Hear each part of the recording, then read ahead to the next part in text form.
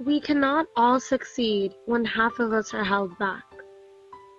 I am not weak. I am capable.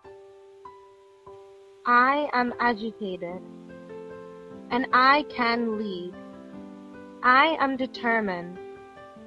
I am not a maid. And I am not inferior. Feminism, by definition, is the advocacy of women's rights on the grounds of political, social, and economic equality to men.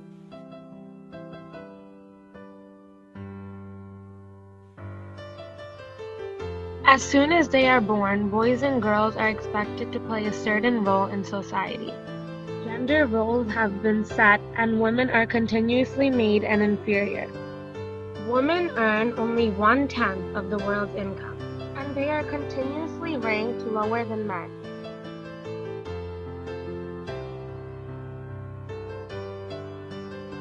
Many women, old and young, have worked hard to improve the issue of gender discrimination.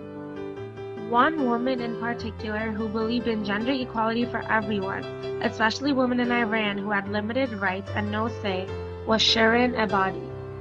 After her graduation, she devoted her life to enhancing and defending the rights of women who were treated unfairly.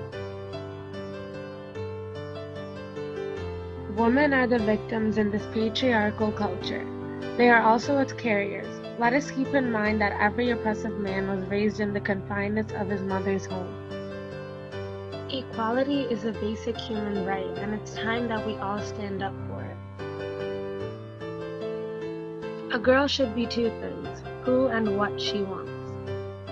We should not be limited or discriminated because of our gender. Both men and women should feel free to be sensitive. Both men and women should feel free to be strong. It is time that we all perceive gender on a spectrum, not as two opposing sets of ideals.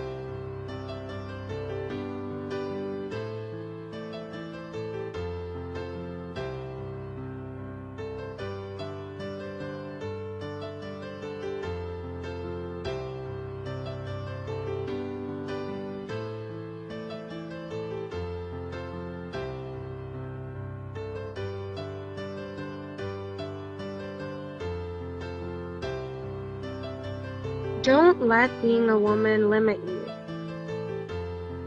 Let it empower you.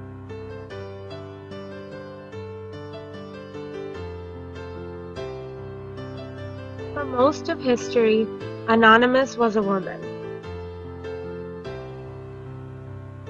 It is time that we all stand up for our rights and speak up. Destroy what destroys you. Every human has rights, and it's time to fight for yours.